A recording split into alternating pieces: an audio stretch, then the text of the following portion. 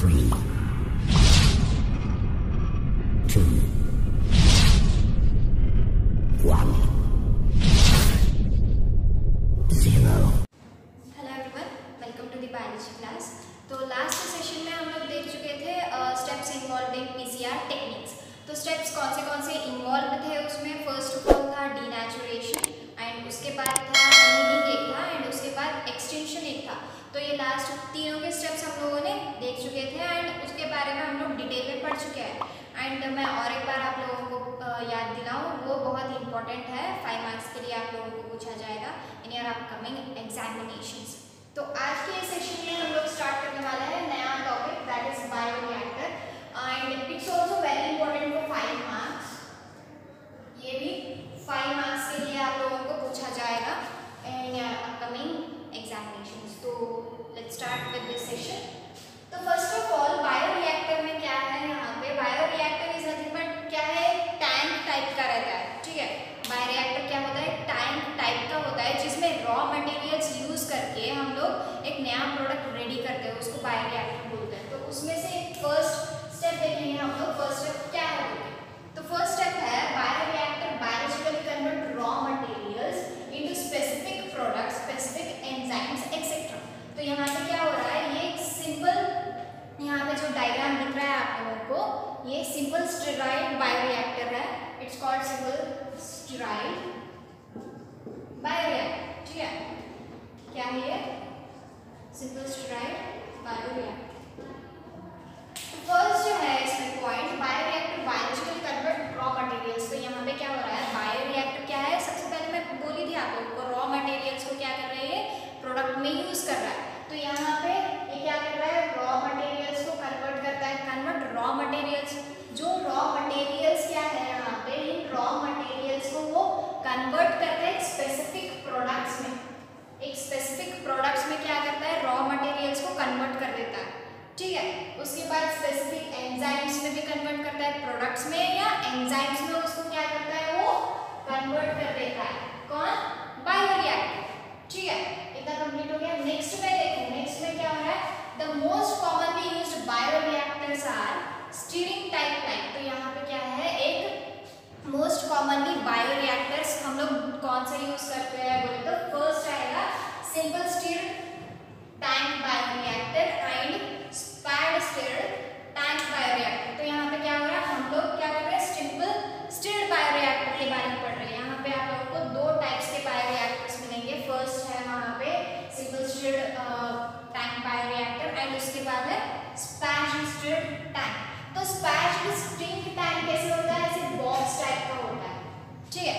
वो क्या होता है स्पैश स्टीर क्या होता है यहाँ पे टैंक टाइप का होता है एंड ये जो सिंपल स्टीर होता है वो टैंक टाइप का होता है ये बॉक्स टाइप का होता है एसपी क्या होता है यहाँ पे SP is nothing but sparged bioreactor वो क्या होता है बॉक्स टाइप का होता है एंड जो यहाँ पे सिंपल स्टीराइड टैंक जो रहता है वो टैंक टाइप का रहता है इतना क्लियर हो गया तो उसके बाद जो sparged stirred tank bioreactor through which sterile air bubbles are sparged तो ये यहाँ पे क्या होता है आप लोगों को ये जो स्पैड स्टीर्ड टैंक जो रहता है ये एसपी जो रहता है SP is nothing but simple stirred tank ठीक है वो बायोरिएक्टर क्या करता है वो विच स्टीराइल एयर बबल्स तो क्या करता है वो एयर बबल्स को स्टीराइल करता है क्या करता है एयर बबल्स को स्टीराइल करने के बाद वो होता है जाता है।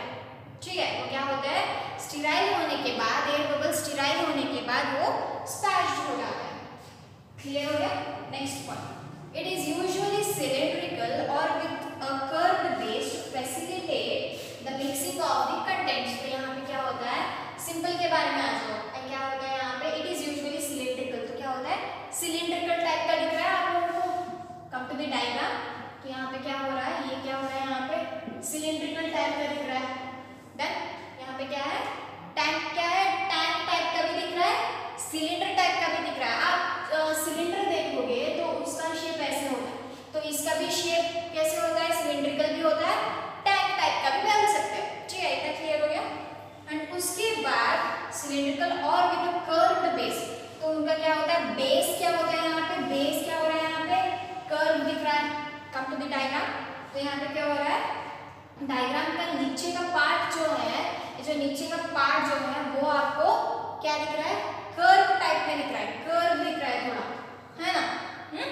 कंप्लीटेड तो उसके बाद facilitate the mixing of the content तो उसके बाद क्या होता है यहाँ पे फैसिलिटेट्स जो मिक्सचर जो होता है तो क्या होता है वहाँ पे कंटेंट्स मिक्सचर हो जाता है ठीक है इतना क्लियर हो गया नेक्स्ट में देखो the stirrer facilitates even mixing and oxygen availability through the bioreactor तो यहाँ पे क्या हो रहा है आप लोगों को ये जो है द स्टीरर फैसिलिटेट्स तो नेक्स्ट पॉइंट क्या है यहाँ पे? The stirrer facilitates even mixing तो स्टीरर फैसिलिटेट्स क्या होता है? इवन मिक्सिंग को क्या हो रहा है? फैसिलिटेट क्या कर रहा है? मिक्सिंग इवन मिक्सिंग होने के बाद भी एंड ऑक्सीजन अवेलेबिलिटी भी होता है। ठीक है? स्टीरर फैसिलिटेट्स क्या फैसिलिटी दे रहा है वो? मिक्सिंग भी हो रहा है वहाँ पे एंड उसके बाद ऑक्सीजन क्या हो रहा है ऑक्सीजन की भी अवेलेबिलिटी हो रही है वहाँ पे थ्रू आउट दी बायोरिएक्टर ये जो इतना जो स्पेस है इसके अंदर क्या है मिक्सचर भी प्रेजेंट होता है है ना मिक्सचर प्रेजेंट होता है, वैसे ही वो ऑक्सीजन भी प्रोवाइड करता है। डन इतना क्लियर हो गया? लास्ट पॉइंट आ जाओ। लास्ट पॉइंट पे क्या आ है alternative air can be bubbled through the reactor जो यहाँ पे क्या हो रहा है? अल्टरनेटिव तो यहाँ पे अल्टरनेटिव एयर जो रहता है अल्टरनेटिव एयर जो रहता है, वो उसको क्या करते हैं हम लोग?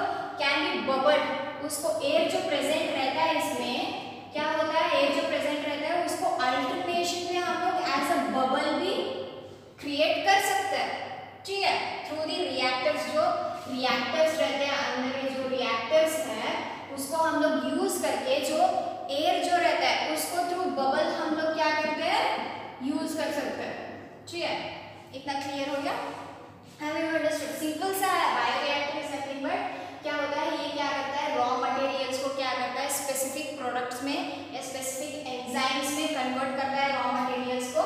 एंड उसके बाद मोस्ट कॉमनली बायोरिएक्टर्स कौन सा है, दो यूज़ करते हैं हम लोग मोस्ट कॉमनली बोले तो फ़र्स्ट है सिंपल स्टिर्ड टैंक आपको बताइए मैं डायग्राम में ये सिंपल स्टिर्ड है। और उसके बाद नेक्स्ट है, ये कौन सा है? स्पैश टैंक है ना? SPT is nothing but sparged tank है ना? उसके बाद सेकंड है it is usually cylindrical cylindrical usually cylindrical shape में होता है। एंड जो बेस जो होता है वो टिल्ट इसका होता है कर्व में होता है है ना इतना कंप्लीट हो गया एंड लास्ट में क्या हो रहा है stirrer facilities even mixing and oxygen availability है ना तो यहाँ पे क्या हो रहा है ऑक्सीजन एंड मिक्सिंग क्या हो रहा है अवेलेबिलिटी दोनों की होती है एंड उसके बाद alternative air can be bubbled through the reactor तो अल्टरनेटिव एयर जो रहता है उसको हम लोग क्या करते हैं कैन बी बबल्ड एयर को हम लोग बबल्ड कर सकते हैं अल्टरनेटिवली थ्रू दी रिएक्टर्स ठीक है इतना क्लियर हो गया and this was your last topic of the uh, biotechnology and application and principles तो जो आपका सेक्शन था बायोटेक्नोलॉजी प्रिंसिपल्स एंड प्रोसेस का जो इतने तक सेशन था, वो आज खत्म हो गया। ठीक है? ये last topic